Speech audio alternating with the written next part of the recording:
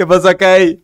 ¿Será que nos identificamos con el déficit de atención o habilidad de procrastinación? Mamadas, puras mamadas. Tal vez, tal vez se, se, se, se identifiquen con mi déficit de atención y mi habilidad para procrastinar. Tal vez. Lo podría investigar. Lo podría investigar. Pero lo investigo después, ¿no? Después lo investigo.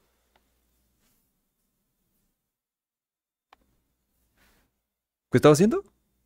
Ah, no es cierto.